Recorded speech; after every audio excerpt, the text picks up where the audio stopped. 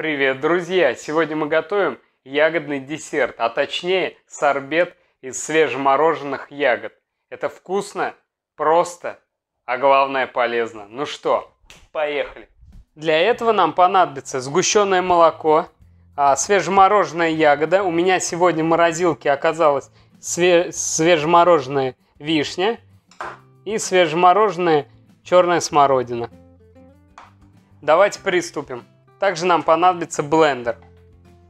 Первым делом мы погружаем все ягодки в наш блендер. Не надо их а, как бы размораживать прямо в таком состоянии, как они есть, как вы достали их с морозильника. Сразу же мы их погружаем в блендер и заливаем сгущенным молоком. М -м, уже аппетитно.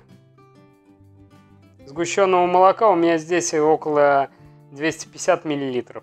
Примерно так. Далее мы берем блендер, защелкиваем его. Так, что-то что пошло не так. Защелкнули. И хорошенько пробиваем все это.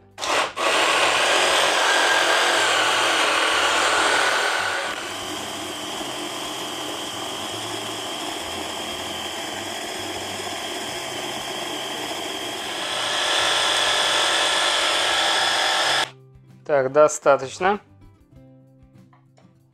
Посмотрите, что у нас получилось. Цвет идеальный. Консистенция тоже. Так, берем ложечку. Хорошенько вычищаем это все. Давайте попробуем на вкус. М -м -м. Это обалденно. Это просто супер я вам скажу. Класс. Так, далее.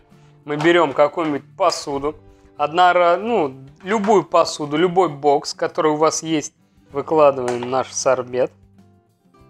Для чего мы это делаем? Для того, чтобы нам удобно было заморозить его. Конечно, его можно кушать уже сейчас, потому что он просто бомбический.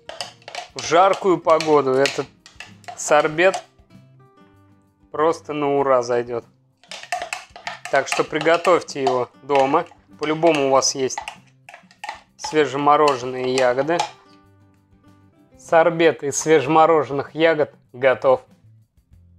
Сейчас мы его ставим в морозилку примерно на полтора-два часа, чтобы заморозился. Будет еще вкуснее. Вот и прошло два часа. Наш сорбет заморозился. Посмотрите какой. Так, давайте будем его пробовать.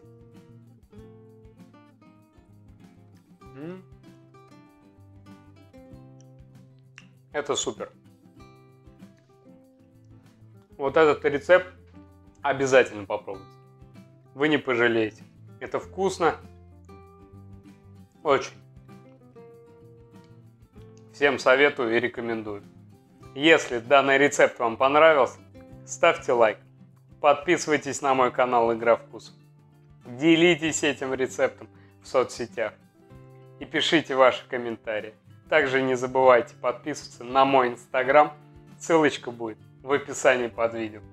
Приятного вам аппетита!